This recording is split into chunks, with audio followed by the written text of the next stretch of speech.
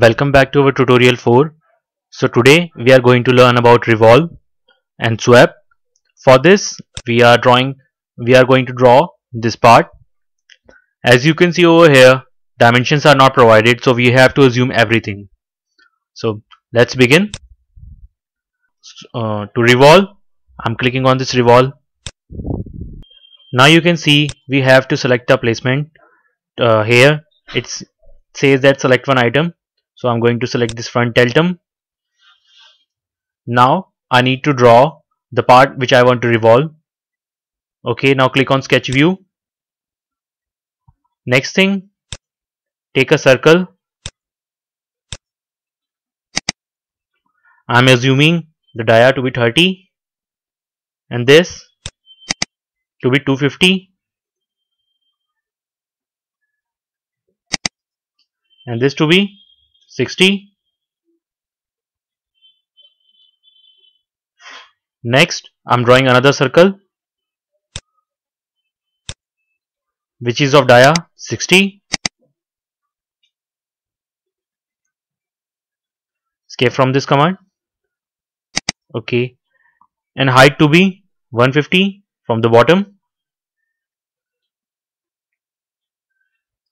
Now click on rectangle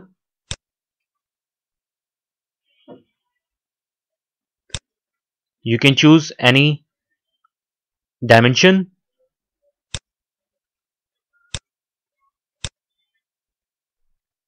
Now I'm removing unwanted lines.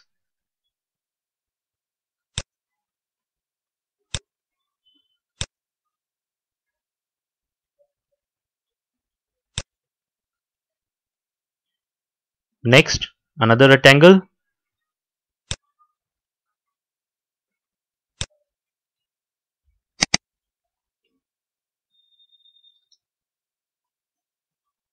okay this is too much. So I'm giving it 150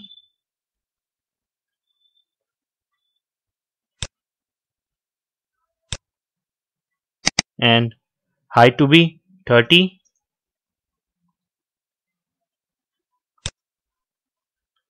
okay now click on spindle. Now click on spindle. Select this point. Another point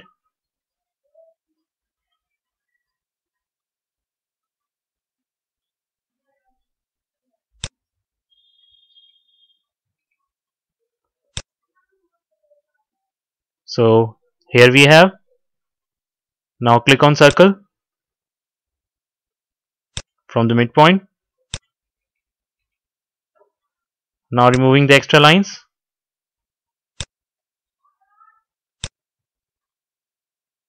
These are the extra lines which we don't require.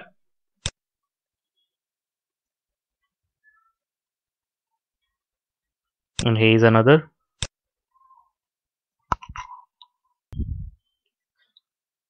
so we have removed each and every extra line. So you can see there is a continuous diagram. Now click on ok and select the axis uh, along which you want to revolve. I'm choosing this y axis and here it is. Click on ok. So I need to make some changes. So I need click on edit definition edit edit view. Sketch view. I'm giving this to be 30 now click on ok. Here it is.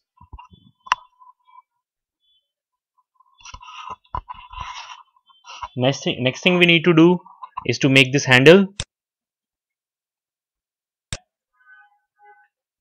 I'm choosing this plane. Now click on sketch. Sketch view. And reference.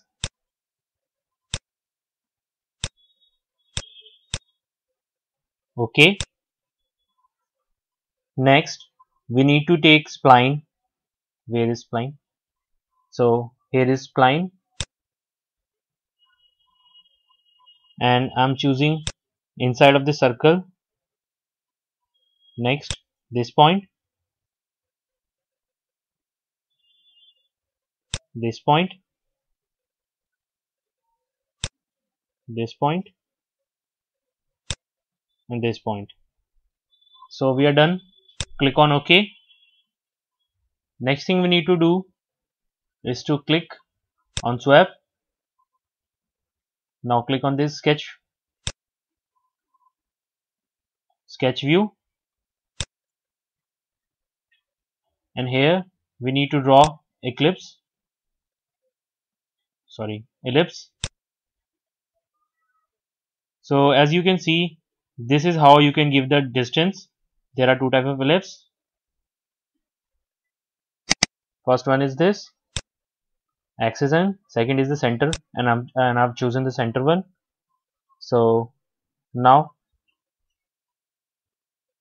click on the center and as you move the mouse once again sorry. So this much. Now click on ok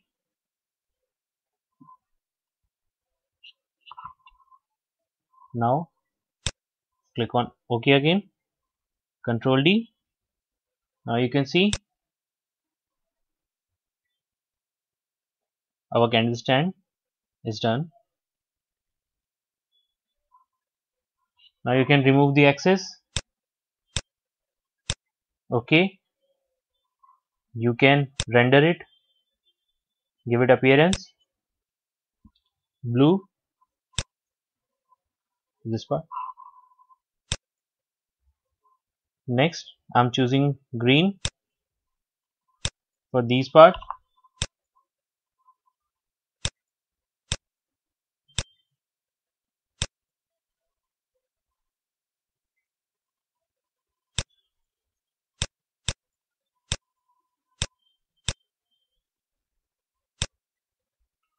click on ok I'm choosing yellow for the handle and outer part. Click on ok. Control D. So you can see bottom view front view top view so far okay now click on model. And here you can choose the different one. This is mine favorite. Now click on save. Okay done. Thank you for watching